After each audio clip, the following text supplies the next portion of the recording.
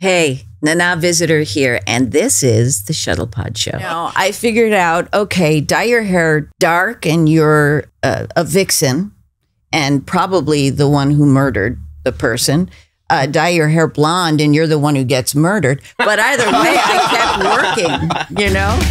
Gonna go and do my convention thing. Got my costume on going now. Yeah, we're having a ball. It's Star Trek, y'all. Head down the everyone. Welcome to another episode of Shuttlepod Show. Today we have very special guest, Nana Visitor. We'll be answering some of your fan questions, doing some Star Trek trivia. Wash got a new pot, so you'll be seeing that and much more. Um, I'm Erica LaRose, and now for our host, Connor Trinneer, and our guest host, Mark Cartier. Hey, well, welcome back to 2023. Yeah. Or welcome to 2023, as it were. Oh, that's right. It's our first show back. That's right. Oh, happy New, Year. Happy New Happy Year, New you Year. guys. Yeah. Happy New Year. Um, and it's nice to have Drink back with us. He has a new pot. I appreciate you putting him in the nine pound feta cheese pot for. Uh, Well, there's kind of a story to that. Uh, you know, everyone on the internet was uh, all upset about the tiny pot, which Erica has right here. Uh, he had outgrown it a long time ago. Yes. So um, the only thing I had access to the other night was a nine pound feta cheese bucket He Why really do you feta need nine pounds of feta cheese? because we're hoping for nine pounds of avocado. Uh-huh. and it's the holidays. And it's the holidays. Uh, how was your holiday? It was very feta filled, Yeah. Very Greek. very Greek. oh, Uh, it was very Italian. Yeah. Sicilian specifically. Sicilian, yeah. Yeah. How's Uh. Good. I, uh, I I spent it here in town with uh, it, it. It's been raining here oddly for ever it seems. yeah, Uh, it really which- hasn't stopped. which we need. But um, no, it was nice. I was here, and then I spent um, New Year's uh, with my girlfriend in Malibu. I was there for Christmas as well with her and her family, and uh, first time away from my family, so um, it was nice to. oh, Um, Connor. No, no, but it was great. It was great. It was a, it was a really nice, a nice Christmas and a nice New Year's. So Good. yeah, and it's good to be back. Yay. Welcome back. And ladies and gentlemen, boys and girls, treks and trekkers, welcome to the Shuttlepod Show. We are once again in the bird's nest of the Matrix Theater as uh, guests of Rogue Machine Theater.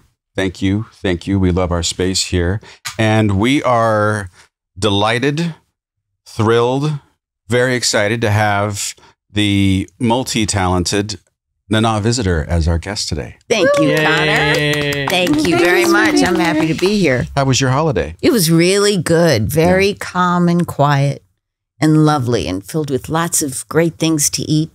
Just the way I like it. Perfect. Did you cook? Oh, yeah. I cooked a lot. That's a thing you do. That's, yeah, that's a thing I do. So it was fun. Yeah, So you uh, were born in New York City it was to a theatrical family. very theatrical. I mean, and I mean at home too, very theatrical. Yeah. And your parents were, what did they do? My father, Bob Tucker, was a choreographer. He was associate with Jerry Robbins for years and then Bob Fosse. So he was like, and then he did shows on his own.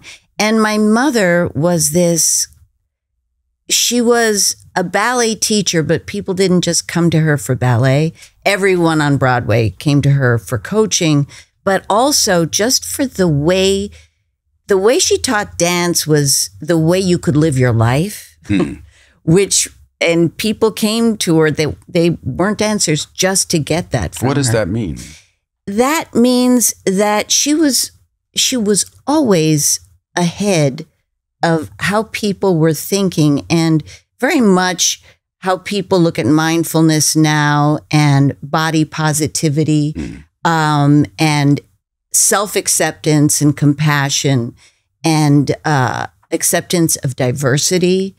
Um, Arthur Mitchell, I just read this, who um, was uh, a, dan- a black male dancer who had people go, just give up. You're not, you shouldn't be in this. And my mother was like, no, you, you have to, you have to dance. And he talks about her in the book as one of the people who said, Stop it. Oh, and she always talked about, you know, ballet dancers get ri- dancers in general, especially back then, would be like you have to look perfect. The Balanchine aesthetic Right. Um, nothing. And she would just be pile up your bones, and what sticks out sticks out. You're human. Dance. Use the energy to dance, to be joyful. And that was like very different from how people taught dance So is that that's kind of on the cusp of the modern notion of what dance has become? uh, I Mhm. would imagine. Mhm. Um, wow, were they coming in and out of the apartment, and were you It's- a- around yeah. all of these people Yeah. all, all the time? Well, yes. I grew up sitting there bored out of my mind in dance class because they didn't have a babysitter. So I'd have to sit and I'd be like, why is that dancer better than that dancer? Oh. And it was like I was watching Gwen Verdon and why is she better than, you know, it was like it was every dancer you can imagine. I knew how to dance before I stood up to do it Oh wow. because I had just seen so much of it. Yeah. And I had this audition with Bob Fosse Oh my God. uh, for um, what was that huge movie he did that was about his life? All that jazz. Oh. all, all that that jazz, jazz, all yeah. that jazz. So it's showtime. I, I, yeah, his girlfriend got the role. I wasn't right for it anyway, but I spent about four hours, just Bob and me, acting, singing, dancing, talking, Oh my goodness. and I was 17 at the time, something like that. 17. I'm not sure how old I was, but I know that the things he told me during that time changed how I thought about the business, what I would do, what I wouldn't do. Um, it was very influential. Wow. And That's incredible. Actually, that's really when did you then decide that this was for you? The world of the theater and The world of the theater, you know, I I was I got I, I graduated my white glove girls school um, in Manhattan. um, did it have a great name? uh, uh, Nightingale? Nightingale. Nightingale, That's yeah. right. Does have a night. Great That's right. And my parents couldn't afford that school. The only reason I was there is Doris Duke was my mother's best friend and said, I want to send the children to school. And that's how I spent all those years there. Um, so then I got into Princeton and it was like Princeton chorus girl job, Princeton. chorus- and of course, I took the chorus girl job and I just kept working. I deferred for a couple of years. And when Princeton was finally like, you know, you do have to like kind of make a decision here. I was like, no, I'm I'm working, and that's what I would have wanted to do anyway. In, in many ways, just culturally, I wish I had gone to Princeton Mm. Oh, just because being a young woman in the business back then, Mhm. um, I didn't, I was so naive. I just didn't understand why it didn't work like in the girls' school. Right. What, you're not going to listen to me? I don't have a voice? Wait, you do that to me and I can't say don't, Hmm. Right. you know? Right. And I think the extra time would have given me the resilience and the maturity to have a little more uh, understanding of all that. the, the and an the- independence of mind and, Yeah. and that. Exactly. Yeah. Exactly. For those who don't know who Doris Duke is, It was, she was the daughter of uh, Duke Tobacco, and he had at one time all of the tobacco. Uh, they had to they had to break up his uh, monopoly on it, and she and I, th- uh, I'm not sure who the other one was, but at one time she was one of two of the richest women in the world, Holy crap! right? and Duke University, and it's Oh. like That Duke. that Duke, Duke. Duke Energy, all, all, all, all of that, stuff. That's yeah. that's Doris, Right. and she was like an aunt to me growing up. Wow. Yeah, she was she was a cool and interesting and weird woman. Well, that's fa- like that's fascinating. How how did that uh, relationship come to be? my she was a student of my mother's, Of your mom's? and then God wanted private lessons and then friendship. My mother was this very cool human Yeah. really unusual. I was lucky to be a student of hers because I knew her as a mother, but then I got to know her as this human and to respect what she teacher. did. Yeah. Right. Yeah. She taught me a lot. Well, and you, like we've noticed you um, on the internet recently, just like trying to look in your background and see what you're doing on social media and things like that to have things to talk about today. We noticed that you're doing a lot of that yourself, your own version of that on Mama Nana Instagram, on Mama Nana. Instagram. Yeah, it's Yeah. inspiring Got people. to- hundreds of of video. And what what was the impetus for that? It- it- Same thing. it was the pandemic. Oh, and it yeah, was- the pandemic. And it was my, I would hear of anxiety young people were having. And because I, I struggled with anxiety for so long and other issues, and I had done such a deep dive into understanding, you know, the somatic brain connection. I really did a lot of work. I'm, I'm an autodidact in that way um, that I, I got so frustrated going, my God, they just need to know, you know, a few facts about how their nervous systems are working and take it in small bites. And I just started out of frustration. I just went, who knows if anyone's going to hear this? And I just started in every day just so that they knew someone was out there going, it's going to be okay.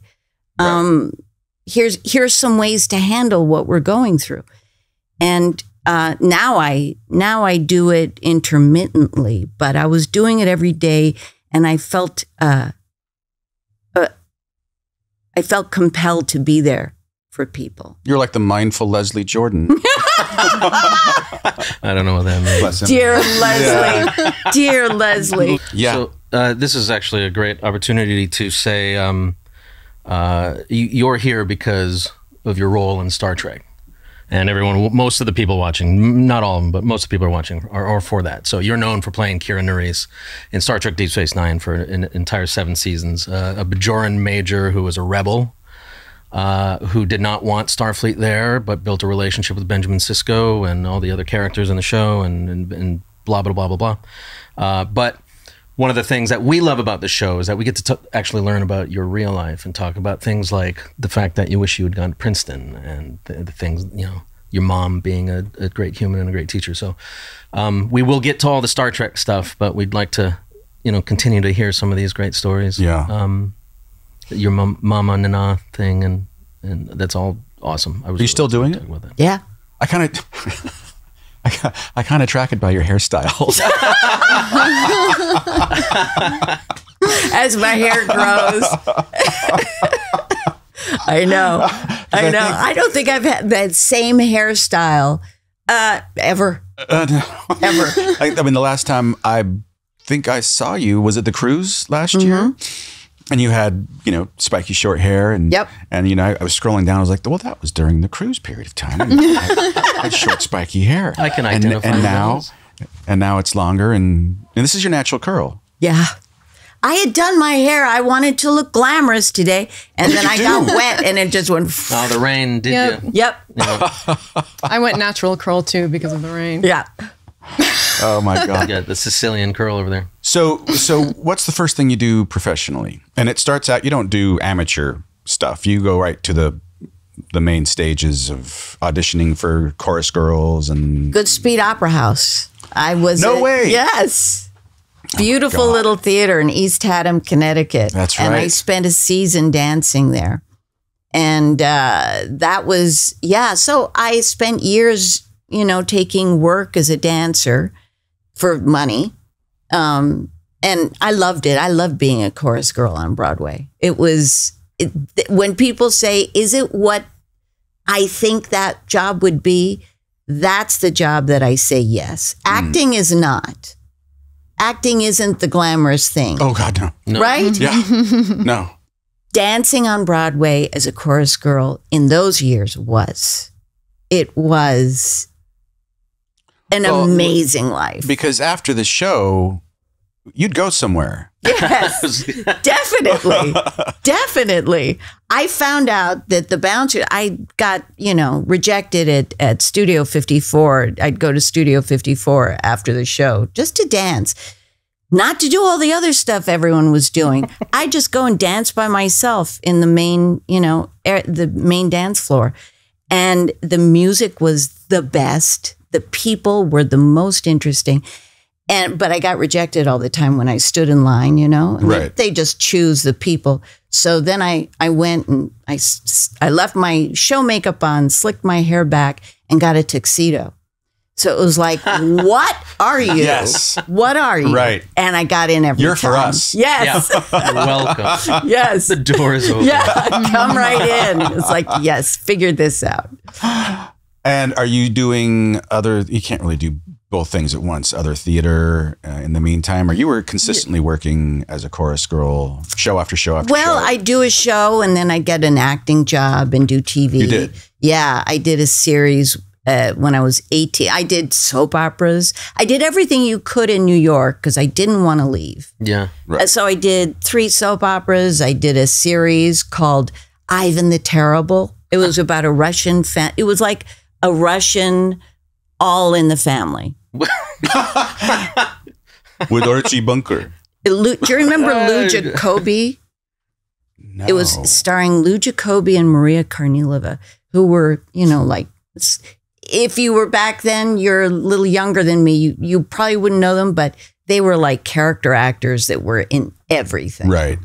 What was shooting there? I mean, obviously the soap operas were were all there, kind of. Yeah. most of them were. And not that much else. no, Not that much else. Well, you, I, I, we, we have blown past it now, but I really want to find out why you wanted to stay in New York. Uh, you said you wanted to stay in New York. I was one of those people. There, there used to be this poster that was a drawing of the United States, and it was New York, and then absolutely nothing, and then L.A.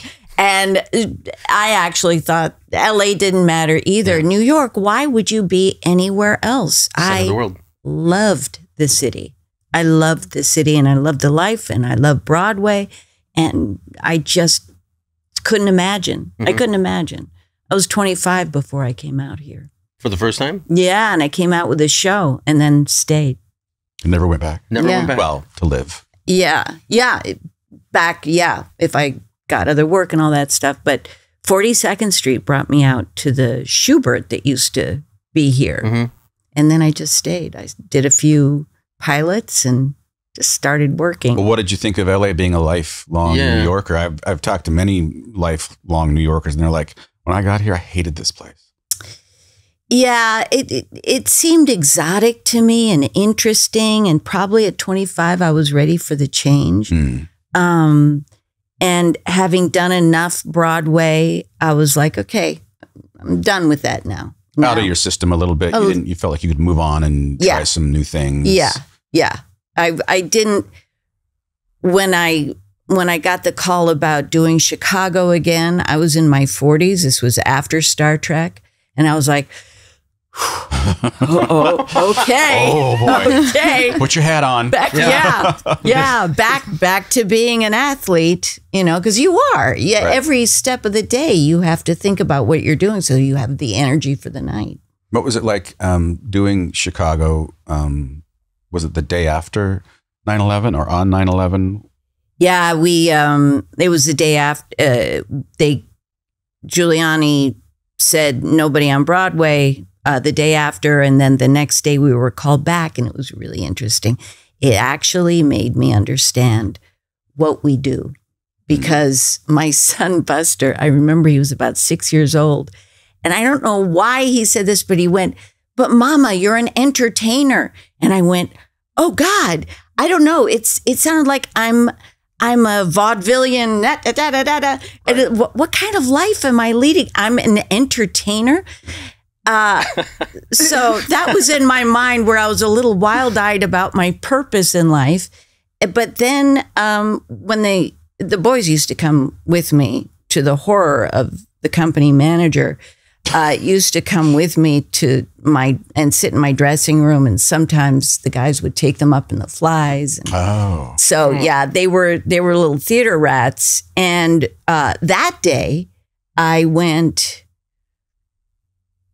I have to do this alone. They're not coming with me mm-hmm. because we didn't know what was coming next Right. and we figured we might be hit. So it was like, okay, wait a minute. I'm going to work and I think I might die doing so. Why? And it was the two to 300 people sitting in this theater. And it was like, in order for the city to stand back up, for everything to start going again, we had to make it okay. And if we're on stage being silly, it's okay. Yeah. And Yeah. that's when my purposefulness, being a storyteller, started to enter my mind as what I really do. And um, that that shift changed a lot of Oh, wow. things, but it was hard. You know, we're talking about murder and mayhem, Yeah. and they're looking at us going, uh, uh, it, it, "It's this is awful." It was Right. It was hard. So you uh, hit the ground running in L.A. And did it did it go well out of the gate? Yeah, I figured out, you know, I figured out, okay, dye your hair dark and you're um, a, a vixen and probably the one who murdered the person. Uh, dye your hair blonde and you're the one who gets murdered. But either way, I kept working, you know? And damn it, I wanted to be the murderer. That's really funny. And then, so I've always wondered this too. Like you did some pilots, right? Oh, yeah. Were there any that you? Well, two things. Were there any that you started and went like, "Oh no, this is not. this is." uh, oh, and were there? Oh, yes. One, or were there? And were there ones my that that you that you were like, I wish it had gone. "This is it. This is." Yeah. No, none that I went, this is it. Uh, one I wished had gone. The creator of, before he created The X Files, wrote this sitcom called Meet the Munceys, which is just not a great name. it's just not a great name. But I was the star of this half hour pilot. And she was just, she was like, uh, she was like Born Yesterday, Mm, the character from Born Yesterday right. and it was a delight to do that. Then I did one that was about a talking cat, but they didn't have any kind of way to make the the movement work like they do now. There was they, they just didn't have the wherewithal. And the cat, you know, it would just kind of blur out when the cat spoke, and it was horrible. It was horrible. It was a horrible show. It was like, oh my god, this is I've you oh, know, Like ladies puppet and cat? gentlemen. No, no, it was a real cat that just you know. Oh no. oh yeah, is this talking cat? oh, did they put peanut butter in its mouth or something? Yeah, no, no, no. It would just be sitting there, and then they just blurred the mouth out and tried to do. It was, it was. oh was, Jesus. Wow. Creepy a little. it was, it was creepy and awful, and it was, you know, I I, would I really was work now. playing the mother and wife who's like. What are you doing? Kind of thing. That's what I needed to do. And it was like, oh my God, ladies and gentlemen, welcome to the end of my career. Oh no. At least I can dance. Speaking of that, the one time I lied about my abilities was for the Colbys. They, I- which was a, a oh. spinoff of Dynasty, Oh, yeah. And they wanted someone who w- could do point work. Now, I was Oh. quite many, uh, quite a few years away from having done point work, and I said yes. And within a week, I'd lost Oh, some oh, oh, toenails. Oh, my God. But I was I did it and I look at the pictures Oh. it's like you are barely on that thing. but you know, I did the job, but oh, Oh god. God, never again. Never again. I won't lie anymore about my abilities. God, when you're young, it's like you know, can you ride a horse? Yes, I can ride a That- horse and play the violin. At the same Yes, time. I well, can you're told horse. to do that. Exactly. You're told to lie. Say yes and learn it. That's right. Sometimes you have three hours. Yeah. Or a week to get back on point. Yeah, exactly. Uh, No. I once said I could speak fluent Spanish, so I did a whole. Um, I just learned it all, and said it, but I didn't know what it was Oh, you just memorized. Oh my But god. But that's amazing. It was- Yeah. yeah, it was Good for you. No, it gives me anxiety even Yeah. thinking about the lying. Oh God, Yeah. it's the worst. yeah, yeah. Because you're gonna get found out. Yeah. It's bad enough That's to just the acting stuff, but then to you know and be on a set and new people, but then to go, okay, I got to get on this horse, exactly. Yeah. and I don't know how. Oh God. So you uh you do guest star stuff. You do a few pilots. yeah, I do a lot of guest star, Yeah. a lot Any theater in town?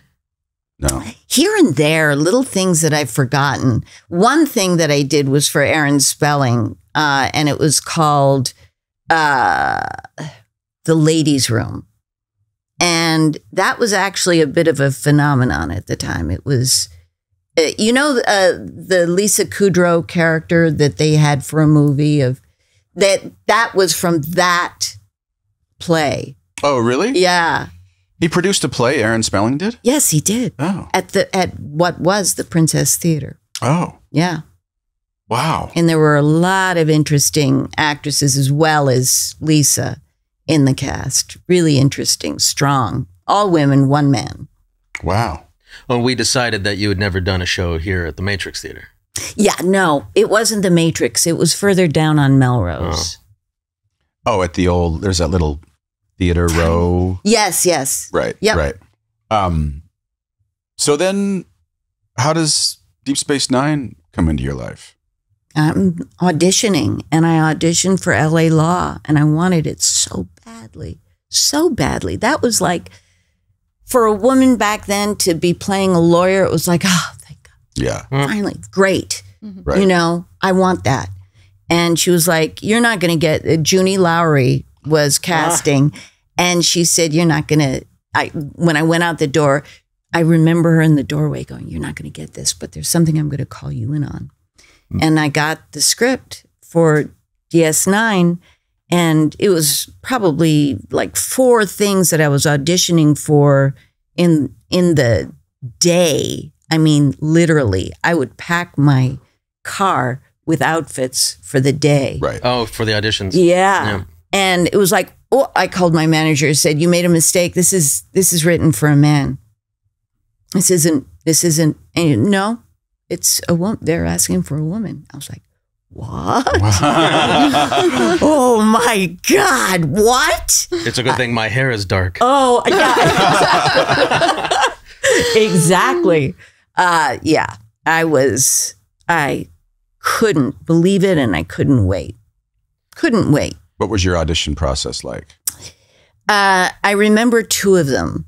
Um, one was for a few people, then one was for the crowded room, and that was it. It was. It wasn't. It wasn't extensive. Wow. Yeah, Connor had like nine, I had six. six. Jonathan Frakes, I think, had He had Like nine or nine. eleven or nine. Yeah. Yeah, I mean Renee, I understand had a lot. Renee. Yeah, yeah. He was already Renee. I know he was Renee. I don't think it had anything to do with that. I really think that they were looking for trying to figure out the elements that they wanted to use, how how to put the puzzle, put the together. together. Yeah. I I don't think it was like, you know, oh, I only had two auditions, I was a better actor. Let's no. torture this one. We're not really sure. Yeah, yeah, Yeah. I don't think it was that. It's it's That's that what it is. yeah, they just they I didn't know it, but I came in very much like Michelle Forbes, who of course was supposed to do the role. That's who they wrote it for. Oh, I didn't know that. Yeah. And then she wanted to have a film career and didn't want to go heavy, you know. Back then, remember? Mm. Seven years was like, oh no, I want to be an actor. Yeah. Now it's like, Give Please, please, please, show. please. Jesus. I want to be an actor. Yeah, yeah exactly. yeah. Well, Um, we, we skipped right over MacGyver to Star Trek. Oh, MacGyver. Yeah. MacGyver. let's MacGyver it. I- w- yeah. You, I just one of the questions on Twitter for you was about. Please tell us about your uh, time on MacGyver, and I, I was like, oh my god, you were on MacGyver. Yeah. And I don't want to get off of Star Trek because No, no, we've got all- here, but MacGyver is. But but you know, MacGyver was like it was really action adventure, and when you did those shows, it was a little. I mean, I did one about uh, fires, oil fires, and you know, being coated down with, you know, All that stuff. fire repellent or falling, having to run through this. Uh, I don't know how. I went this far into the lake, and it was probably, I don't know, like sixty feet in. But I fell, and you know, you go, "What's in this water?" Mm. Yeah. You know, stuff like that. And Right. It's like, and Actor cream. yeah, and it's just like you do it. You, Right. You and I never thought of myself as action adventure, run through the lake or the fire and go, oh God, oh God, you know, Right. That's hot. My ears. Yes, really. How did it look? Yeah. Yeah, right. Well, Right, that's, boy, you know, the last time I did that was on Wildfire, a show I did with a bunch of horses. And I did my, I did some minor stunts with these race horses Yeah. that they had um, agitated, uh, which is On purpose? They had agitated on purpose Yeah, because it was supposed to look like a stampede. and Right. my character falls back. So my head, there's nothing between. I mean, we're in New Mexico and we're just doing it. We're Right. just worried about getting the shot. Right. And me too. And I remember I got I got glanced by one of the, just glanced. I can't tell you what issues I've had because of that. Oh, really? Oh my God. And then one of the producers showed me when I came into Loop, he said, I have to show you the footage because I go, uh, and I go, he, he got me. And as I go like this, his back feet go like that, right where my head was. Oh, God. Man. And, but I got up and went, Did you get the shot? Right. Oh, It's the last time. I, I won't do that anymore. Yeah. I have to say, actors are resilient animals. Like, I have seen some actors do some incredible, uh, completely inappropriately unsafe things uh, and do exactly that. Did you get the shot? And Well, you know, it, it's, what is it? uh, Why? Why? I mean, and it has to be more than just like a producer or a director is asking you to. Like, Oh yeah, well, there it's it's a whole state of mind of whatever this is that we're doing together. I want to be a part of making it happen. Mm. We are all collaborating and that it's just my part of it. It's like did I do that part? Did we get it? yeah, when there's Yeah. 70 people standing there looking at you. Yeah. And there's an energy to that too. And if you break that energy by saying, "I'm sorry, we're going to have to figure this out," Yeah, 'cause we're gonna have I'm to come not back doing tomorrow." that. yeah. You know, there. You know, it breaks. Yeah, I- yeah. I mean, I there was one time for me as well where I I was actually on our show where I we on a Friday we didn't have enough time to shoot what was going to be a swamp. Me jumping into a swamp, and Oh, by God. Monday it was an actual swamp. It smelled like it, and I would at that point just went. But this is what happens. I said, "I'm not doing that." Like, but But it but says we, in the script we have you to. have to. You- yes, that's right here. That it's on page 12. Trip jumps into the swamp, and I was like, "Uh, "Okay, but I'm not doing that. Um, we have to figure out something else." So you know, a couple hours go by where, where they're trying to figure something else out, Brain And you know how much that's costing. and you know so clearly how much that's costing. And then ultimately, my they called in my stunt guy, and he was He's like, like, I'll jump in there. "I'll do it, whatever." I was like, "All right, God bless you, man. Um, I'm not going to do it." Uh, you know, because look, nobody knows whatever I, I've got. was I've got stunt guy's ear name? problems. Oh yeah, you know, and you don't so- want some bacteria. No. So, uh, but you know, you see that you're part of this machine putting something together. And this machine in itself is setting up for you to be the one to succeed in it. Yeah, you're the one who gets the accolade when it succeeds. Right. You know, and, and if you don't succeed, there's a different vibe than say, ah, we got to go again. We got something wrong with the light of the camera, did something fluey. You just kind of go like, oh, all right, we're going to go again. But if you don't do it or can't do it, I just, it's embarrassing and shameful. At least I've felt that way before. Yeah, again, where it's the you- 75 people standing there looking at you. Yeah. And the dark part of it too is this attitude. I don't know if it's changed. Of there are ten more behind you. You don't Yeah. want to do something. we'll get another actor. So- there, I was constantly it when they renegotiated my contract. Th- they used there'll be a shuttle pod accident. Oh No way. my god. They said that to you? Yeah, Oh my god. yeah.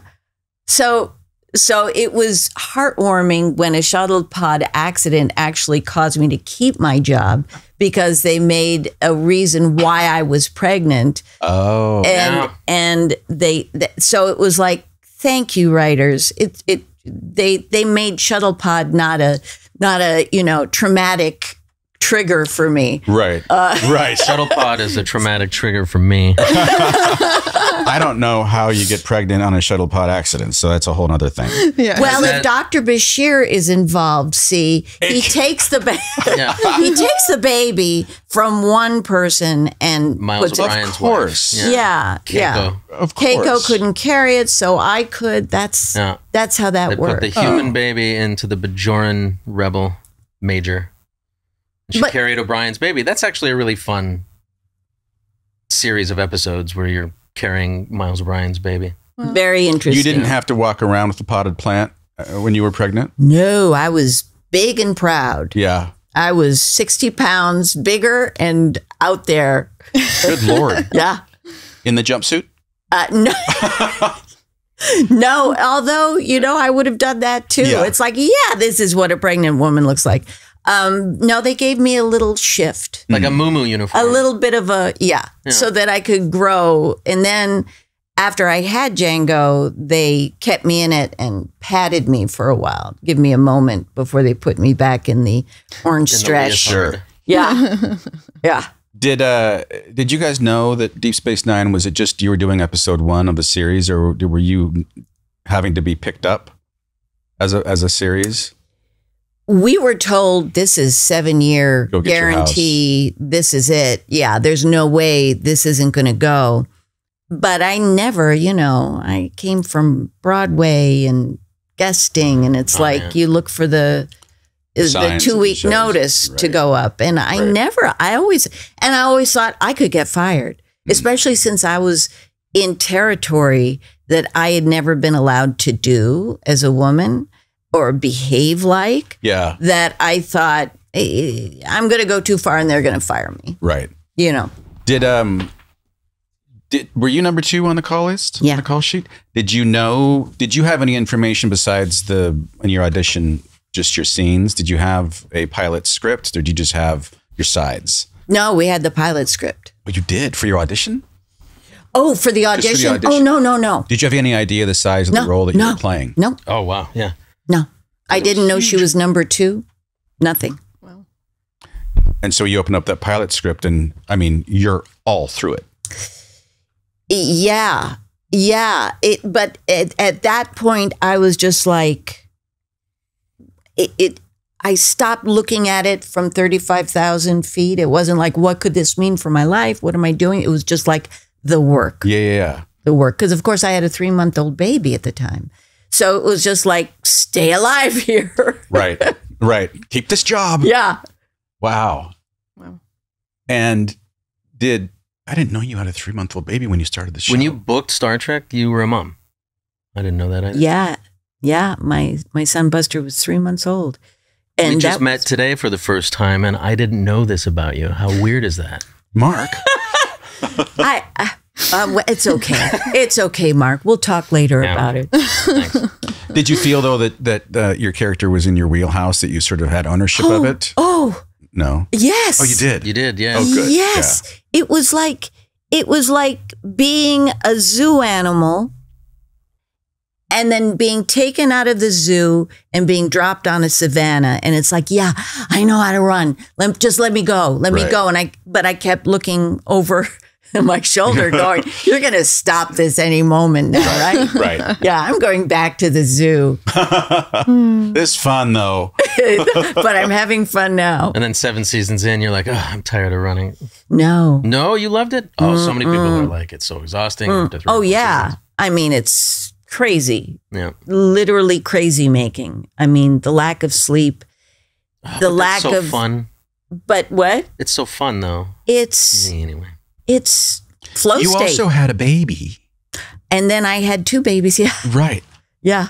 I kept living life while I did it. I just mean in the, in the in the lack of sleep element. It's not as though you were getting to go home and and get your great six hours. and the guilt of if I was if I was concentrating on the children, my God, I should be looking over those lines again. If I was at work, Uh, but of course, I brought the boys right. To to work with me. But it's a skill to be playing pickup sticks in the trailer and then go straight to an emotional scene. Totally. And you have to just and but I you can do it. Right. Well, You can do it. and action. Yeah. Yeah, that's fun.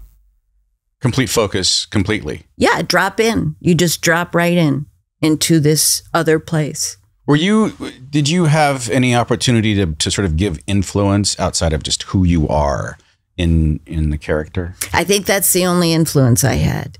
Um, is is who I was, and they started to write for that. They heard your voice. Yeah, I, I yeah. think so. Yeah. And and so it was this, you know, it becomes this material that you can't tell what is what. It's Right. just one thing. Right. Major Kira just became one thing, but certainly the opportunities that those writers wrote.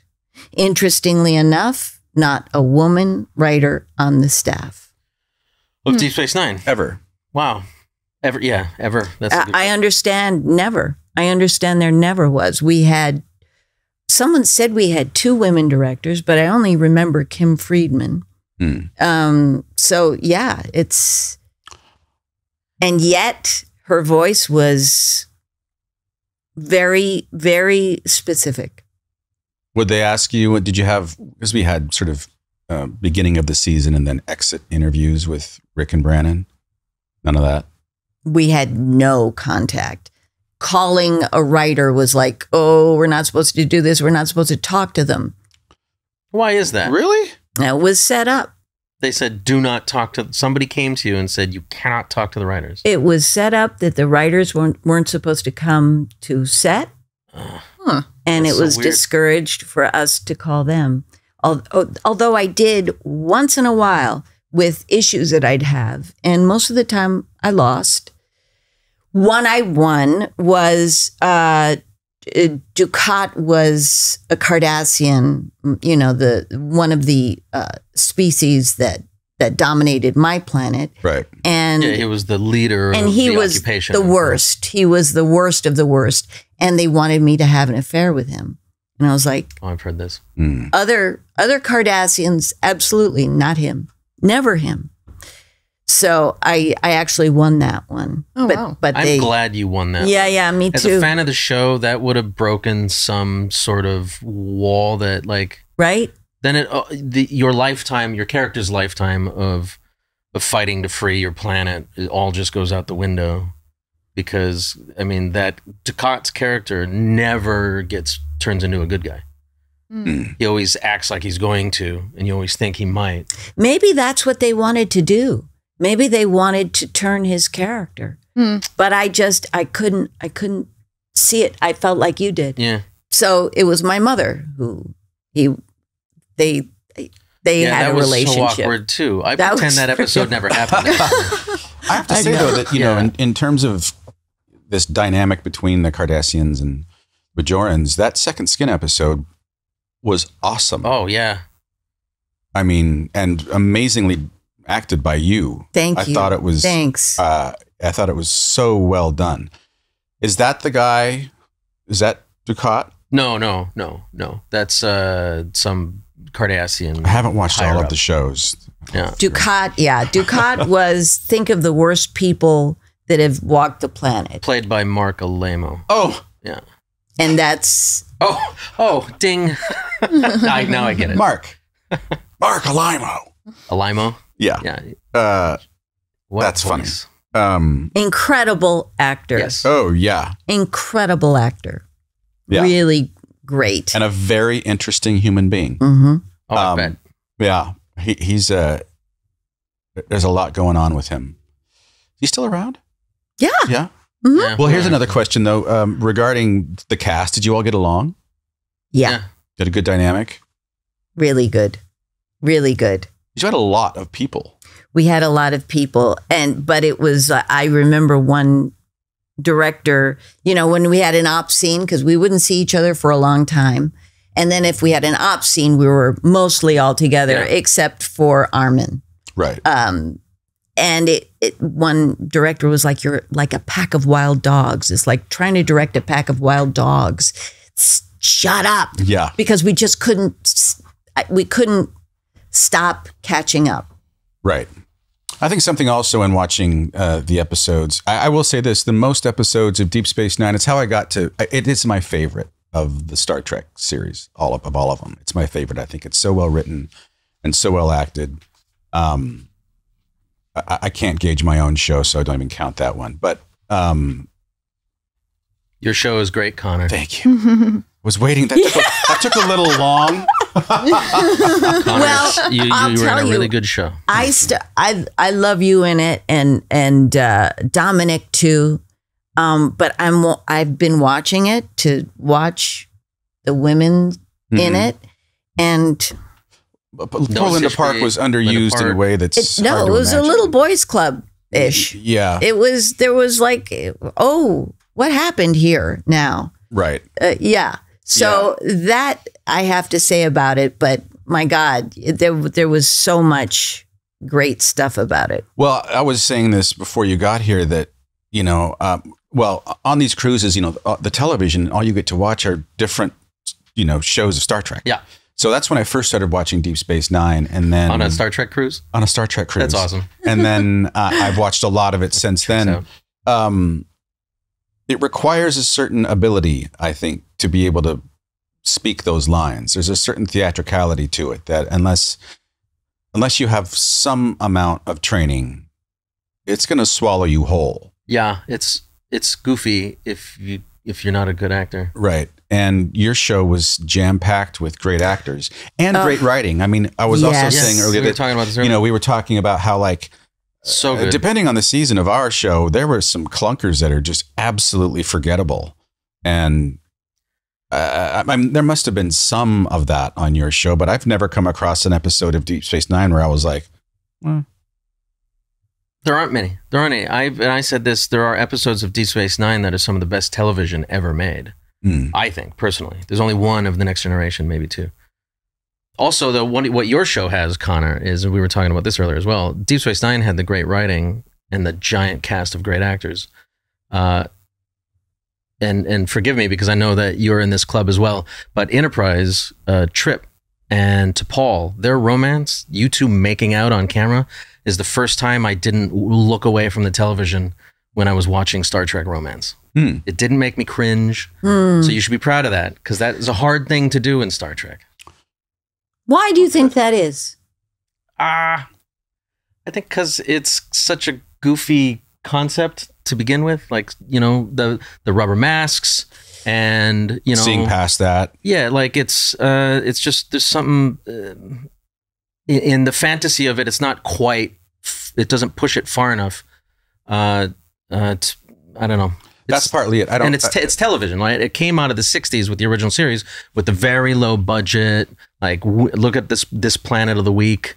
It's like they shot it up here or something. Yeah. You know, they throw up rubber rocks and all that, and it's Right. like it just had that goofy sort of feeling the whole time. But that's also part of the magic of Star Trek. I think part of it too is that um, the relationships are not really given the amount of time that you would need Good to point. Yeah. establish them and, and make them believable in a way Yeah. that Yeah. you know maybe stuff that was supposed to happen off camera i don't know but you know when you have relationships again like on a on a crime drama or what what have you you you've it's the whole year or it's Yeah. the whole show Or you're relegated to like a, a, a romance of the week. Right, Like and- there's a guest character in this episode, and that's the romance beginning to end. right, Right. And, the, and the shows for star trek are the ship that's the star of the show Yep. and the inhabitants who commingle with one another are, are, are just that And maybe it's bec- maybe you're kind of getting close to what I was trying to say. Maybe it's that the cast of these Star Trek shows all are kind of family.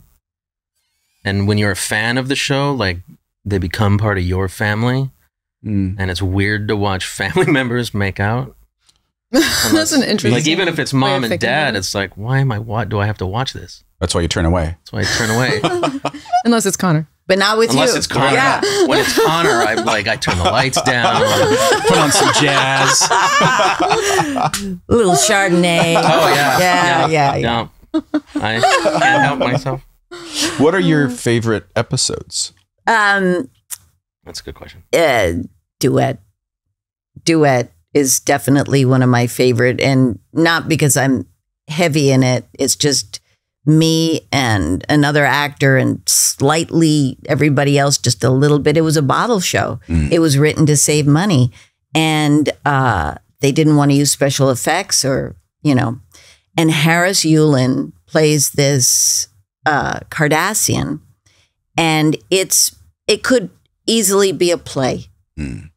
and what it says about um, bias Yeah. and all these interesting issues and and it, it, I I think the writing is incredible, just Mm. Yeah, incredible. and uh, the actor, I forget his name, but Harris Yulin. yeah, he's so good in this episode. It's uh, and you guys, your characters become friends.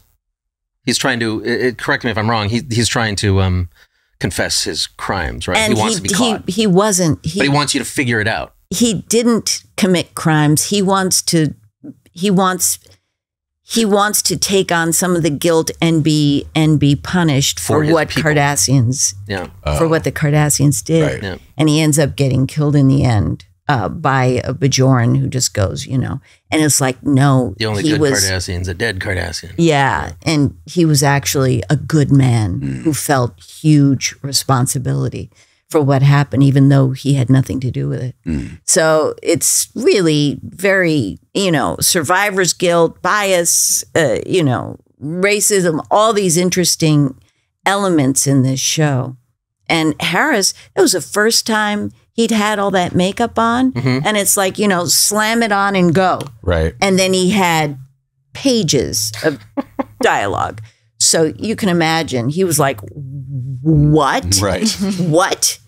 You know, you have to learn the tone of the show, and it's just the nightmare guest star of all time, and he was amazing. He was just amazing. Wow. Any others? Yeah, far beyond the stars. I saw that last night. That's the what the hmm. one in the 50s where he's having a fantasy about writing a science fiction. Yeah. Yeah. Or is he? He meaning Sisko, or is he? Or is he? Exactly. is the entire show Deep Space Nine really just that character's imagination? right. Yeah. That was a good episode, right. Brilliant. Or is and you didn't have to wear the makeup or the prosthetic anyway. Yeah. or is it None of happening in parallel universes? And Right. I mean, uh, you know, they they addressed all of those things so so well. Yeah. Um, And there are more, um, but those are the two that really stick out to Yeah. me as and I love the pilot. wow, it's great. I Oh, love yeah. the pilot. Yeah, the pilot had no, well, no pun intended, no holes in it. Um, it was so good. I look at ours and I'm Yeah, like, "Wah, wah, Your wah." first line in mm-hmm. Deep Space Nine is you're yelling at some television screen or some viewer screen. You're throwing it all away, all of you, and then you say, and Sisko walks in and you're like, "What do you want?" Like, I suppose you want the desk. It was like, what a great way to set up your character. I was allowed to do that. I couldn't Yeah. believe it. I couldn't believe it. Women did not. I mean, it's hard to think of it now, but that was not available. Anger at a man who was an authority figure, not allowed. Mm. Wow. Never happened. Never. Unless you were supposed to be a bitch and you were going to be killed soon. Mm. I, but I was a regular character. It, it was incredible to me. Did you feel like you were walking a fine line on how to do that at all times? I well, I I did I did what my truth was and went like this for when people said, "Oh, she's just a bitch," or "That's not the way women are strong." And it was like, "Excuse me, it is because this is the way I am." Right, right, right, right. when I'm angry, this is the way I am. Strong enough to tell you to fuck mm. off. So, you know, it's like we're supposed to jump into these boxes for everybody. And, you know, instead of this wide room of however a woman is, is that woman, yeah. you know? So, yeah, it was, but I did, I, I did worry about getting fired. Oh, I Lord. thought, but Paramount wa- wasn't watching. They may have if they watched it, but they were. Everybody just really very quickly was interested in Voyager. Because Voyager started how many years after you were in? I'm not sure. think Was it you- two? You overlapped with the Next Generation by one or two seasons at the most. and then That's you had what it one was. on your own, and then Voyager kicked in. See, Yeah. that's right. They had they were interested in next gen because they were the real stars Yeah. Right. of Star Trek. And And, then those people went on to Voyager. yes, And Deep Space Nine was like the bastard adopted child. exactly. Yeah. What stages did you shoot on? 17, 4, Oh, and another one next to 17. But yeah. wow. Um, were you ever told by anyone to to reel it in, to rein it in, to do any of that? Well, Yeah, yeah. Rick Berman said, called me in and said, "You're you're you're walking like John Wayne." Oh, Really? you're like, I know. You're like, you got it? Yeah. But you know, so many years later in La Cage aux Folles, the movie, they do this whole thing about how actually John Wayne moved very much like a woman. So I felt like, yeah, see, Yeah. there Full you circle. go, there you go. I'm not go. Full walking like. John Wayne. He's walking like me. Funny Thank story. you. So John Ford told John Wayne that he was walking effeminately in the first thing that he did with him and said, figure something out. So John Wayne invented this walk and oh, it the turns John out, Wayne walk. yeah, Wow. to make it as, I guess, masculine as he thought he could. But again, from what you just said, not as much, you know?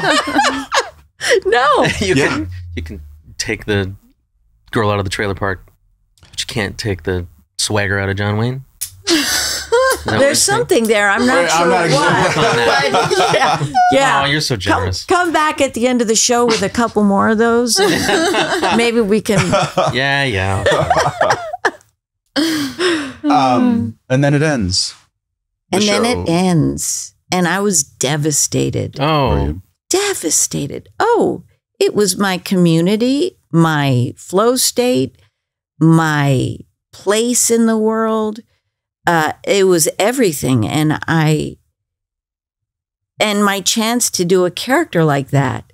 And I went, I won't get that again. It's going to be some going back to playing, you know, someone's wife, someone's dead wife, someone's hysterical wife. I, you know, I didn't want it.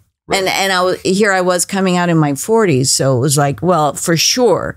I, I've probably got this much to do the hysterical wife, and then I'm done Right. uh, was my feeling. And I got a call that um, they were interested in me for Chicago on Broadway. And of course, now we know they just do stunt casting all the time. They're constantly putting someone into that show, but it's still running. So they're pretty brilliant Yeah. um, all these years later. Uh, but that, e- even though I had my, oh God, do I want to do that? I've got two children and how, Mm. uh, it was one of the best experiences of my life. who did so you play in Chicago? I played, um, I played, oh, Roxie? yes. Okay, I was like, oh shit, who's actually, who are the characters in Chicago? Roxie. You see, not one name can I remember right now. Uh, I played Roxie Hart, and that was, I mean, you know, anything that is that challenging Mhm.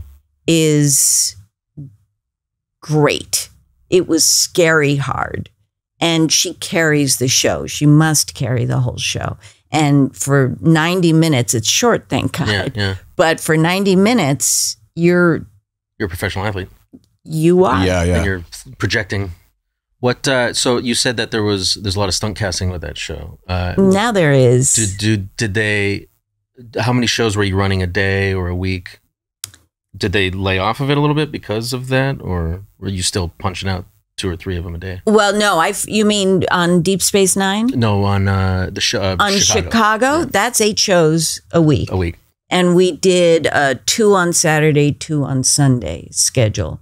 So Yeah. yeah, that the Not, weekends not one get matinee you. day, two matinees. And then it's like you know, it's like being forced on a Friday on the show. Yeah. The weekend doesn't really mean much because Exactly. you're you're so wild-eyed. So after Friday night, to Saturday, to Sunday, you get Monday off and you're back on Tuesday and it's like that wasn't enough. No. That wasn't enough at all. So being forced on a Friday for people who don't know means You they you were meant were meant to have eight hours from door to door. you're scheduled to shoot an amount of time, You're supposed to have Right. and you're not eight- done shooting. and if you're not done shooting and they need to have you six hours later, they do what's called a forced call, which it's supposed to be a request, but it's never felt like that before. Uh, No. we I called it a new couch. I mean, every time I got one, I was like, sure, I'll do it. a new um, couch. I felt that way the first two years. It was like, oh boy, Yeah. oh my gosh, yes, of bike. course. After the first two years, it was like I would give any amount of money for sleep. Yeah, I just oh, need Don't pay me for this episode. Don't. go Yeah, home. just I just want to go sleep. Yeah, right. but I never got them very often. You know, it took me 15 minutes to get makeup on, and um, oh yeah, I just had you know they You're just, human. spray gun. You were you were just handsome. I w- they'd already done my hair. Yeah. I already had the highlights in my hair. you are uh, human. All you had to I do was was learn your lines in front of everybody. yeah. Oh. Yeah. Um, The hard thing about Chicago is that I also did another series in Vancouver. Did six episodes of. I played Madame X on Dark Angel. oh. and going back and forth while doing the show, while about? having two children, and I was separated. So it was like, whoa. There was one night I was I came back from shooting in Vancouver. They would put all my scenes together in Oh, one day so that I could shoot in one day and then I'd come back. And so I I would miss maybe one show and they worked it out between them. And then I'd be back and there was one there's a courtroom scene in Chicago where my character has to and it's all done to a beat. And if the beat is lost, everybody it's like billiard balls going everywhere. It and it's with a whole bunch of people on stage. And I just I was supposed to stand up and go, "Ah, Fred Casely. And that goes on. But like today with names, I stood up and went, "Ah, look at that light on me. and I stood there Oh, you just went Froze. blank. and all the chorus performers behind me were going, Fred Casely, Fred, Fred Oh Casely." God. And I couldn't. I couldn't. I couldn't hear them. It was like, where am I? Am I in Vancouver? Am I on this stage of Broadway? Where am I? And the poor actor playing Fred Casely, who had to, he had the next thing. I'm, oh, ah, Fred Casely, and he's got this whole thing. But instead of saying his lines, he, he just went in a valiant attempt to get us back on the beat. right. And we never quite made it. Oh, it Oh, no. was horrific.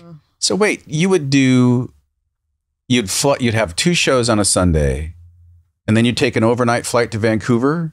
You'd pack in 14 pages or 16 pages, a lot of dialogue, I would imagine. hmm Fly back home the next day Mhm. morning hmm and do a show. hmm That's Oh. impressive. Ah, you get the medal. Yeah. Why did you do that to yourself? Because 'Cause you it's got like work. I got it's the opportunity, and I'm in my 40s, and my time's about up. You know, Right. So, oh my God. And Madame X was yet another part that was written for a man. Hmm. And they went, hey, why don't we get Nana? And it was like, yep. Yes, I want to do that. Right. Yes, I want to be a badass. Yeah. It was great. So it was great. You've touched on this a little bit, and I wonder if it's still the same. But you know, one of the sad parts about this business and women in this business, actors in this business, is that you get put out to pasture. It happens doesn't happen to men uh, nearly like it happens to women, um, and you you felt that that was sort of an, an imminent wall that was Oh. coming quickly. oh, yeah. I heard Yeah. the clock ticking. Yeah. Absolutely. Absolutely. And it was just like, it's not like my time is up to play uh, interesting roles. It was, it, my time is up to play. Right. I just won't get invited to the party anymore. Right. And going silver is almost a political act for me. It's like, I know what this does. and yet I just it it's it's like, no. This is when I'm called to do grandmother roles and they go, you, you no, you're not what we have in mind. I'm like, why? Why not? This I am a grandmother. I'm a badass grandma. I'm a mm-hmm. grandmother. Yeah, I can be a killer grandma. We a- won't talk about that project. Killer grandma. Yeah, that, that was actually a lot of fun. that was a lot of fun. But then it doesn't quite happen. You don't get put out to pasture. You get you get wildfire. Uh, yeah, no, I got wildfire. I I worked. I kept working, which was uh, remarkable, and uh, I got off the hamster wheel. Heading out to New Mexico. Yeah, Yeah. that that's what did me in, um, and stayed and went. I like this life, Mm. and maybe I can work and fly. And no, No, they they they went. Oh, Nana visitor. She died in no New Mexico. she's in New Mexico. Right. no, she died. So, Newsflash. so I was gone. And in terms of agents and all of that, it was like, you're gone, you know? right. And I knew that would happen. I knew it, but uh, it does. Does. I, I still work. I still work. Well, I don't think But- actors really retire. Mm-mm. No, I mean, I don't think we can. no. And I'm I'm looking to, you know, have some longevity and get those 80 year old roles, you know? They're there. Yeah. I remember playing 30. I had a, I was supposed to have a 24 year old son in one project. And he was actually four years younger than me. Oh my God. Yeah. And so, it- but that's the way it was. Women, they, they got really young women to play older women. right. And for guys, it's the opposite. Yeah. You're older than the part you're Yeah. like what TV and movie world thinks is a 60 year old man or a 53 year old man. Yeah. It's not me. You know, if a guy in his 50s, they're going to go for somebody who's probably closer to 60. It's it's a flip. It's strange. Wait, what? Yeah. So I I I have found that like if there's a role that says he's You think- early 50s. You think that they think you're too young. Mhm. Yes. That's been my experience. yes. Yeah. If you're if you're 20 in the in the show, they're gonna cast a 30 year old. Yeah. Because they're thinking 20 years ago Yeah. of what that Yeah. age looked like. Right. Right. And for a grandmother too, this is this is the truth Right. of being a grandmother. Right. I mean, yeah, they're they're square peg round hole thing. I mean, that's why you know, hence the a little bit of the white. I I, like the beard. And I, I like the white. It reminds me of me. yeah. it's just that I have to sleep with it.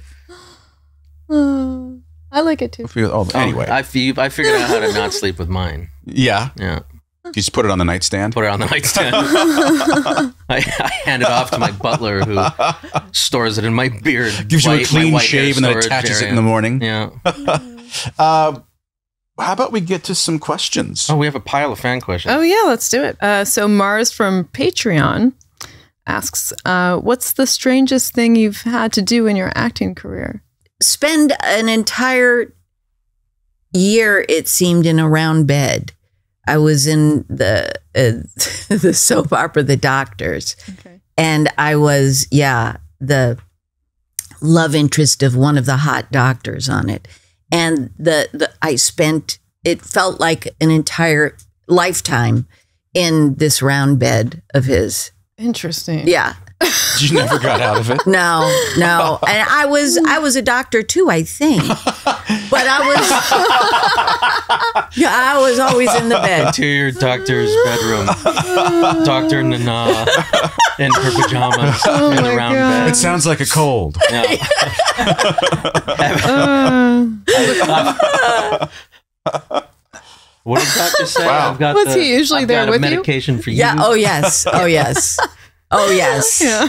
Oh my It god! was a soap opera. My Yeah. prescription for you is a round bed. Did you like doing them? Soaps. Soap. Yes. It was like being a business person, but being an actor. It was like in at work at the same time, Right. out at work at the same Done by time. seven or eight. Yeah, you know, learn these lines, do it. It's, it was just so you know, in the same space every day. Would you shoot like three episodes in a day, No, an episode a day. one a day? Good lord. Because I've got a friend who who's on one now, and Three a day? well, maybe not three, but they'll do more than one. Wow. You know, especially if it's particularly character heavy for a, for a specific actor, they'll they'll block it and do Oh, yes. sort of the three episodes Oh. for that. I mean, it's 80, 90 pages. Yeah. You know, imagine. Yeah. Wow, I had a hard time with eight and a half. yeah. Yeah, but it's different. It is different. Once you've done it for a while, you know what you're going to say or a version Really? of it. Oh yeah. Yeah. Yeah, you get it. You you get all the relationships and what you usually say to this one and it's usually a, a variation. I mean, that's the way it was back then. And as long as you got close Yeah. enough, Yeah, close enough. right? You keep going. Right. I we did the doctors and I remember we were on the set of the hospital and my my doctor, my lover, got in a fight with another and they had a fist fight and the wall they hit the wall and the wall was going like Wobbly. It's okay, keep going. It's like They'll never notice it. They That's won't notice. That's awesome. Now that's quality entertainment. That's right. That's right. That's what we strive for here on the shuttle All Pod right. show. Uh, Scott Lakes from Patreon asks if you could go back and give yourself some advice on the first day of shooting DS9, what would it be? Uh trust yourself and breathe and by breathing um i mean be inside your body don't be out where the director is looking at you don't be you know worried about is is the cameraman getting be just be inside your body Hmm. I like that. I have a question. Have you done coaching? I have, and I love it. Yeah. I love teaching actors, young actors. yeah. Yeah. Uh, Are you looking for a coach? well, no, it just sounds like she would be a great coach. So I, Yeah. yeah, I, I think yeah, there's sure. there's Maybe- so much maybe that I Maybe you can comes coach me. there's so much that comes with acting Yeah. that is about experience and about finding once you've done it for so many years you find ways to not hurt yourself hmm. and i think those are the best things to teach young actors how not to get in your own way how not to bring it home with you yeah, and how not to have a trauma hangover Did you it's a real thing. have any particular sort of style of training? Say, did you work with mm-hmm. Meisner? Did you mm-hmm. do Mhm. Adler? Yeah, I didn't either. I, I my my my rule book is actually a pamphlet on acting, which is the Jimmy Cagney is hit your mark, open your face, and tell the truth. I And however you you have, gonna say- whatever you need to, whatever it, it takes to get there, that's your job. right But Mm. those are the things that you're you're supposed to do. That's really interesting. right I thought you were going to say that I went to the school of being naturally talented. I went to the school of the gift. I'm so gifted. I, I am the gift. Did you see my body? okay. Uh, Stephanie K from Patreon asks, I really enjoyed your performance on the episode of Night Court that you did, basically playing a different character every line. What was it like working with the cast? You know what? They were uh m- most of them were not easy. Uh Really? Yeah. It I think they had done they were they had done the show a lot. I don't know what was going on, how they were being treated, but that was the show that I went if I'm ever on a show, I'm going to make sure a guest star feels welcome. Mm. Mm. And, you oh, know, Oh, interesting. it, it, they they they you know it's so easy it's so easy to lose sight of being human and uh, they were big stars mm. That was huge when it was on. Yeah. yeah john larroquette was lovely and he was lovely to work with he was kind but for the most part every it was it was tough Interesting. Great. Yeah. Wow. Do you think that I'm a little heartbroken. some of them didn't want to, you to steal any of their thunder? I've experienced that myself, where if you walk in, and uh, this happened to me a couple of times, where you walk in, I try to walk in as, you know, I know it's stone cold. I'm I'm prepared. I've made choices, and I and I and I own my space. You walk in as the answer. Well, that's we've talked about this a few times. You know, you mm-hmm. walk you walk in is the answer, and you feel that, and you believe that, and then you get the energy from other people that, you know, sort of side eye looks or just things that don't make you feel at home in a mm-hmm. place where you're supposed to be open and honest. And Don't upstage me. This is my house. yeah, Yeah. You know That's who it. is like that? Who? I'm really going to break your heart. Oh. Oh. Oh. Yeah. And this is my experience and my experience only of him, Andy Griffith. oh, my heart. Oh, really? I did three of those. The Matlocks? Mayberry? Matlock. Oh, Yeah. Matlock. Yeah. And he was Maybe. Yeah, you were 11. tough. He was he? He Hmm. was he was very tough. He had an issue with me. Maybe he didn't like what I did and I kept coming back like a bad penny. I'd turn up. Right. You know, that could have been like, what can I do to get rid of this one? Right. Um, I don't know. But he was he Did you park in his spot? Yeah, no, I swear to God, nothing like that. Hmm. Uh, but it he made working really, really tough. Oh, that's really disappointing. Uh, especially for my friend Mike McCall, who that's his hero. Yep, doesn't change what he did on camera. No. he was It also amazing. doesn't change the fact that he was the one who gave us residuals. Is that right? Yep. Yep. He Matlock? he demand well, no, it was on Andy Griffith, I believe. He demanded that um, you know, when there were reruns that there were people were getting paid for the work they'd done. And um Well, he, thank he God got for him. he- yeah, he got it he got it through. But he's an asshole. Sometimes all you need is an asshole on your side. But to go back to Stephanie's question, the the Reinhold Weege was the executive producer of that show, and he. Can you believe all the names I can't think of? Reinhold, Reinhold Weege Weege. I, comes like it's like Just slipped right, right out. there. And then Roxie. and then Roxie, I'm like, what? What was that character I played for years? That's uh, He uh, he was a lovely man, and I ended up doing a pilot for him after that show. But it was fun. It was it was a fun character to play. very cool. Okay, next question. Uh, Lee Disson and Melissa and a few I think others. it's Melissa. Oh, great. Lee Disson and Melissa and a few others um, are asking in body parts, uh, you touch your pregnant belly, look at Bashir and say, This is all your fault. By now, we all know you were having a baby with Sid. How many takes did you shoot and how did you go through it without cracking yourselves up? Yeah, I think that was like a really early Easter egg. Yeah. Ever like one of the first that something is said for the audience to understand. Mm-hmm. Um, and I don't think we did more than one take of it. Oh, well. I don't think we did. I think it was just the one, and it was, uh, you know, and Sid is English, so he's going to be chill about all of it anyway. Right. So he wasn't going to like catch my eye and start laughing. He's he's always, you know. So yeah, but it was it was a fun inside joke to do. Yeah. All right. Uh, Nancy Congdon from Patreon. Hi, Nancy. Hi, Nancy. Hi, Nancy. What is the genesis of your stage name Visitor? Uh-oh. Uh-oh. Nancy, all right, I'll tell you the truth. Uh-huh. and it's going to sound like a story, but this is the truth. I said, you know, when I was younger, it was like, oh God, I can't tell this story. So, yeah, it was in my family. It was an old family name. I, I don't think anyone has the name Visitor. Okay, so uh, my elder brother, who's no longer with us, uh, was named Paris.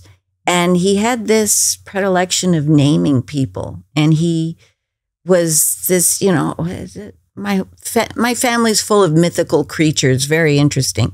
His story in itself is a book. But one of the other things he did, besides all the war dog stuff, was he named people. And so I said Paris, because I went by Nana when I was a chorus girl. And it, you know, it got to be an issue and you can't get a social security card with it. Mm. Just so I'd be Nana Nana and I didn't want that. And it was too close to Nanu Nanu. And it's like, so, all right. So what do I do? I said, Paris, give me a name. He said, he said, I'll write a name on a piece of paper But if you take the piece of paper, you have got to use the name. And I said, But if I hate the name, I can't use it. You've got to use the name. And he said, I'll tell you, I do see you signing lots of autographs if you take this name. You'll you'll sign this name a lot. And so being I don't know how old was I, 20? Something like that. I went, okay. And I opened it, it was like, and Nana is of course Nana is my name. Your name, But yeah. visitor was the the thing that he gave me. And I was like, no,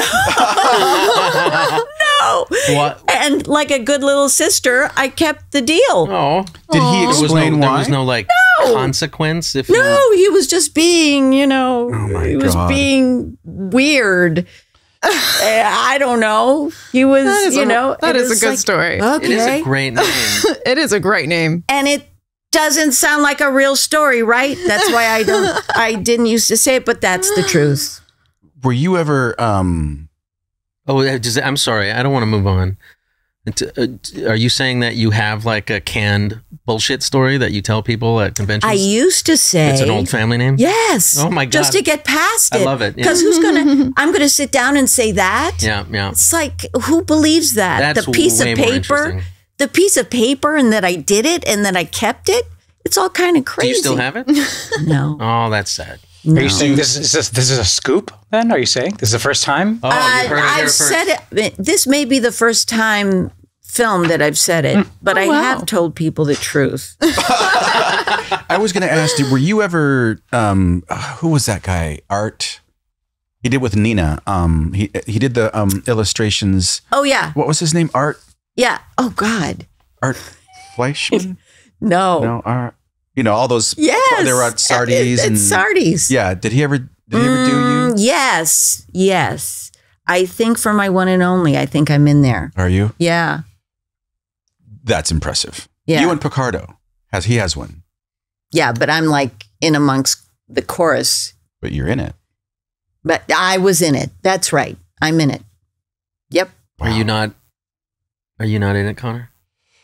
No I think by the time uh, anybody would have noticed me I don't think he was alive anymore I don't think so um no I never got one I am in um an episode of an issue of Mad Magazine You're also in an episode. In a Mad Magazine. Star Trek magazine. What did they do in Mad Magazine? They did a send up of our pilot episode. Um, I, my character's name was Drip Tuckus. uh, anyway, Ripped. Why don't we move on to trivia? wanna do There's a lot trivia? of questions. This here. is going to be terrible. Go it is, ahead. well, Yeah. I don't expect us to win, Okay. All right. but we are playing for someone. It's like, wait, wait, don't oh tell me. no! Yes, we are. Oh, this is the worst. Okay. Yeah. Uh, I played Password online for Days in Space, and it was like I felt sorry for each person that worked with me. It's like so sorry you're going to lose. Actually, I did okay. Did you? Yeah. You might So don't win. write me out. Don't write me out yet. Let's He- see. Uh, Connor's been on the winning team once or twice. Yeah, but it was dumb guesses the entire time. I just got lucky. All right. And Well- the, the format was a little different. You you were asked three questions to my one or something stupid. Yeah, I mean, It doesn't matter. Uh, so Okay. so the way this works. Yes. To tell her.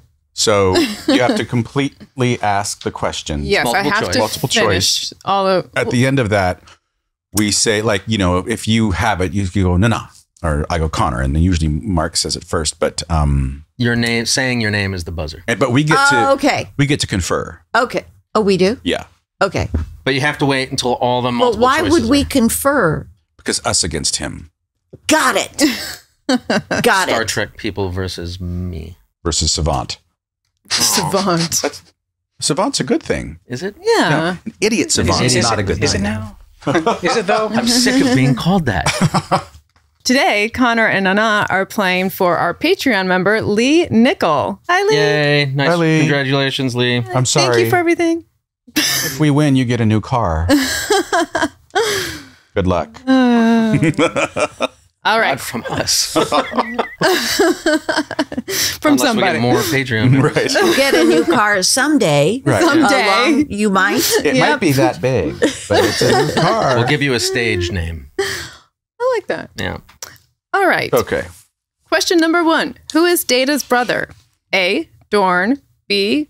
Grok. C. Lore, or D. Borg? Connor. That was- that's Connor. Ooh, That was Connor. Can, you, can I hear those again, please? Oh, shit. Yes, for Yeah. real? Okay. Mm-hmm. A. Dorn. B. Grok. C. Lore. D. Borg.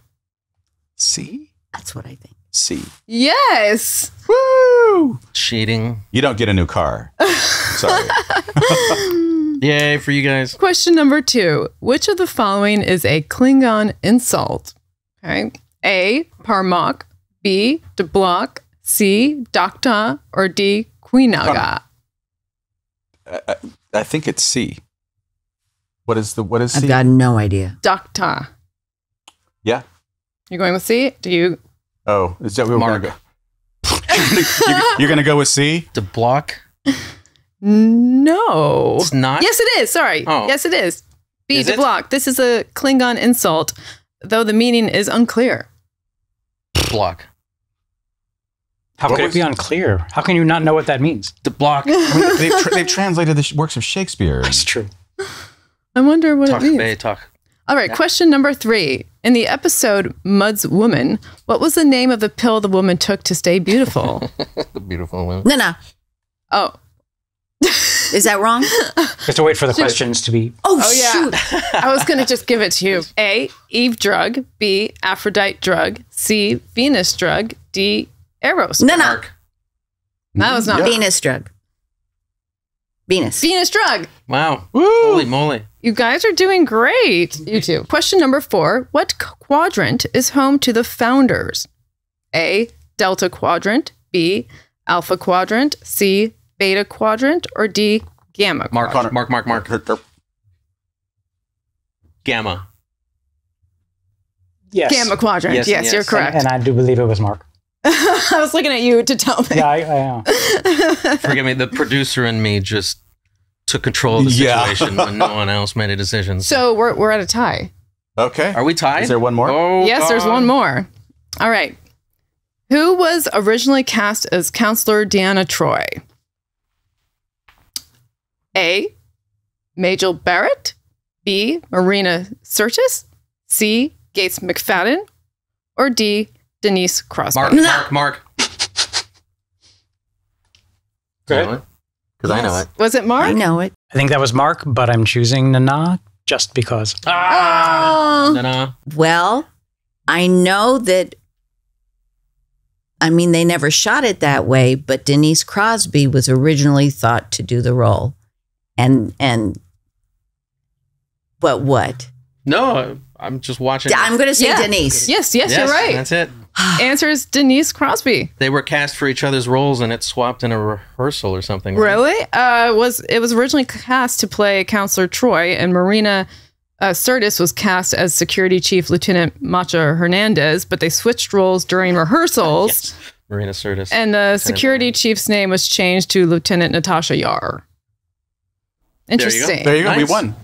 you won. You Holy. We won. Hey, nice. So That is now awesome, you you get to do a promo uh, at the end, congratulating Lee for winning for him. I guess Sorry, Mark. that's okay. He feels defeated. I'm not a sore loser. And now we're going to play Stuck on a Deserted Island with Connor Trinneer. Yeah. Good times. Handsome Island. Handsome Island. You're so We're gonna, handsome. we're gonna make it a series. Yeah, handsome. Connor Trinneer gets stuck on an island filled with Connor Trinneer clones. That's right. Oh my god. And it's about the love triangles that Uh-huh. crop up. Oh, You are spending the rest of your life on a remote island, and you are allowed four things. You're allowed an author, all of their work. You are allowed a dessert. For instance, if you pick cookies, you get to have all of the kinds of Uh, okay. um, your musician, all of Beethoven or all of the Stones or whatever, and then your cuisine. Okay. So- All right. So the author would be Mihaly Csikszentmihalyi. The uh, food would be French. The music French food. would be It's forever. Oh, and the segment is called "Stuck on a Deserted Island with Connor Trinneer." So so you have to live with this too. Yeah. I've never read that author, He's so that'll be worried. fantastic. Oh, This is great. you're worried where you're going to have to live with. Um, uh, music, I, uh, uh, yeah, music, it would be everything from Chucho Valdés. And what was the other thing? Dessert. Dessert. Pie. Oh, Ooh. Yeah. We have a pie obsession over here Yeah. on the sofa. You guys can come visit Yeah. on your, from your deserted Pie. island. Yeah. Because it can be everything. Yeah, He's going to make you a pie. This one. Are you good at it? Mm-hmm. he Pretty good at pie. Well, I better have an What's your opportunity. From favorite? Minnesota. So Is that a thing It's a Thing. thing. in, in Minnesota? rhubarb doesn't grow everywhere here like it does in Minnesota. Yeah.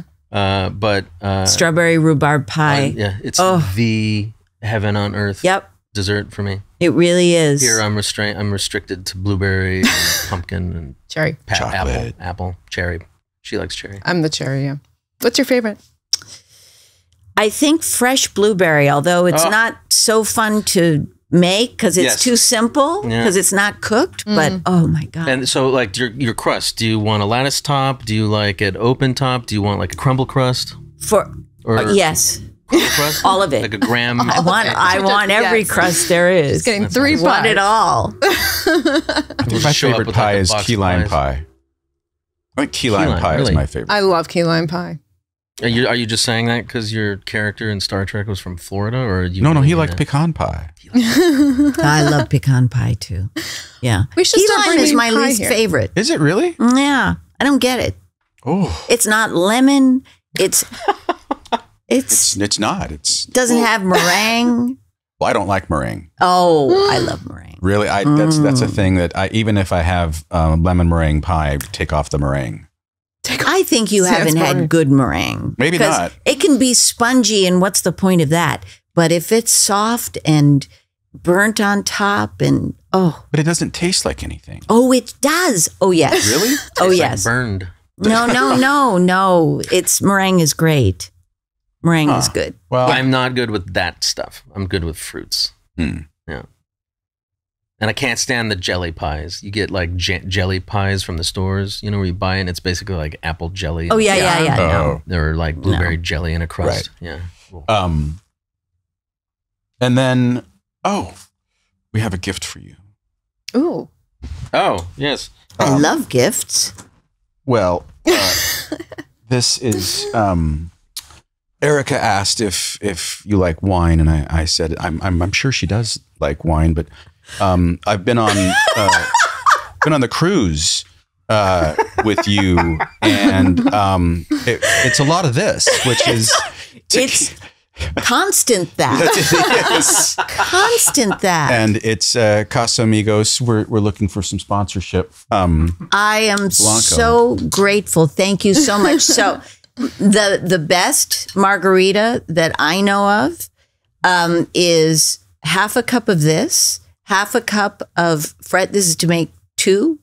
Half a cup of fresh lime. Yeah, no, that's a big. It's still a big one, actually. So, half a cup of tequila, half a cup of lime juice, a quarter cup of orange liqueur, oh. uh, and that's it. have Sounds like you a ever lot of ingredients.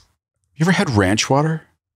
Yes. No, what is ranch water? Ranch water is tequila, club soda, and lime juice. And Oh. it is, I love it. Yep. Uh, that's the, when I'm too lazy to squeeze a lot of lime juice. That's what I'll have. Really. Yeah. Ranch water. It's And a really lo- good. A lot of people don't know what that is. Yeah. I've never heard of it. Very refreshing. hmm And you can have, it's a, it's a bigger drink. So if you're just drinking tequila on the rocks with lime, you're going to make it through more of the night. M- More. Are, are you are you suggesting I do that on the cruise this year? Maybe get into a little less trouble. When in Rome. you know, they told us on the first day of the cruise, it, and I get sick. I get motion sickness. Oh, they the said the best thing to do is eat and drink a little bit all day. And they meant a little alcohol. And so I went, okay. And it does, it works. Just following the rules. It What works. a wonderful! Ah, now I'm going to go on cruises all the time. yeah, I'm I'm just telling going you. to live on a boat. So I can eat Thank and you. Drink all day. Thank you so much for this. I will put it to good use. Promise. Perfect. Thank you. Yeah, we are very grateful that you came to spend time with us. Yeah. This thank was fun. Yeah, yeah. This was Thank really, really coming on the fun. We, we hope that you'll come back.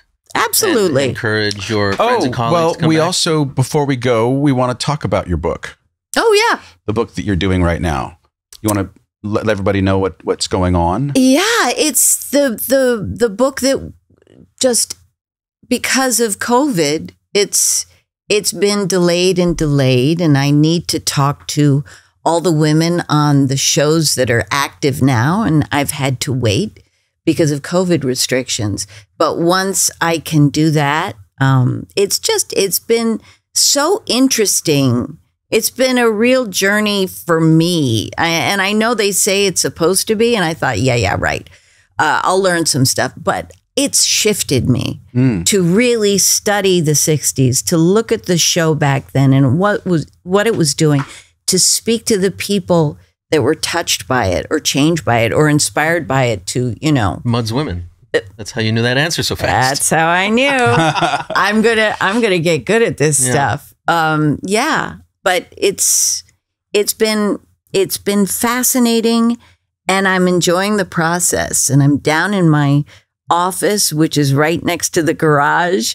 It's this tiny little spider hole, and um, I'm in the world of Star Trek, and so many remarkable people who've watched the show and who were behind the scenes or on camera. It's it's a lot of remarkable people. And influenced by it. And I told I mean I talked to Samantha Cristoforetti, Commander Cristoforetti, who is uh, in command of the of of the International Space Station right now.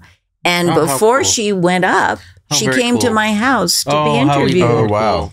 And then I went to the I I went to the um to the Sp- in Germany, Mhm. and I spoke to her while she was in space. Oh, wow. and uh, the the the woman who was uh, organizing it said, "Okay, open a channel." And my mind went because I'd said those words a million times. Right. Open a channel, open a channel. And yet here was this young woman who had watched the show, who got inspiration from it, really on a space station. And I'm down on Earth, and my mind just ricocheted a million different ways.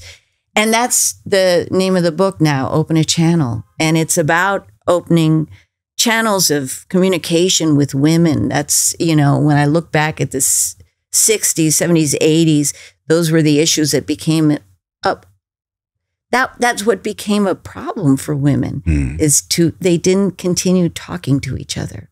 You know, we can get distracted with uh, thinking of self so much or distracted with other issues and we forget to communicate and share our stories and share our experiences.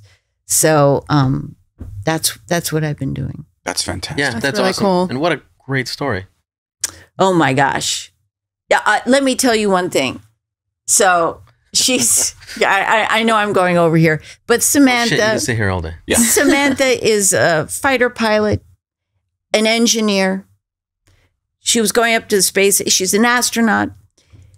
She has two children under five. Oh, I was going to say, but she's also got the hardest job in the world, being a mother. Wow. Now, I'm not going to say that because I was like, you know, and I'm in the, and I've learned this and I'm in the middle of the interview and I'm like, Samantha, I, and you're going up in a couple of weeks. I, it, your husband obviously helps you with the children.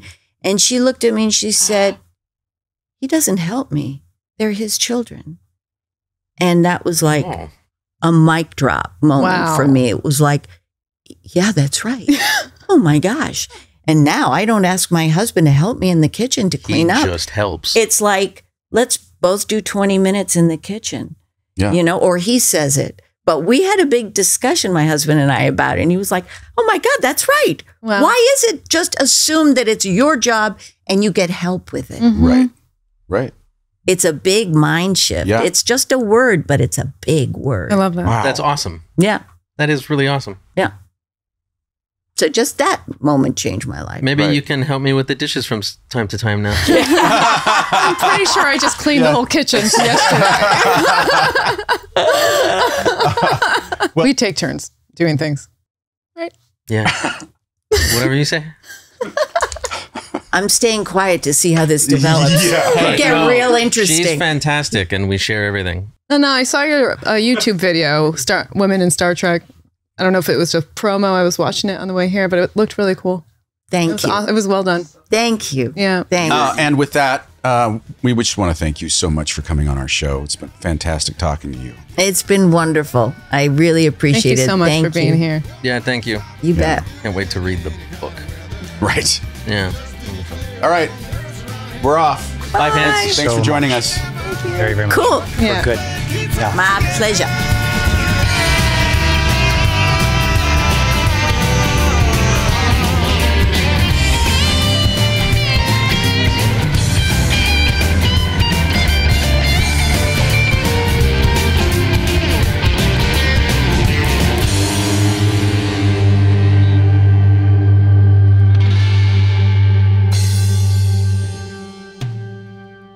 Like, subscribe, and join us on Patreon.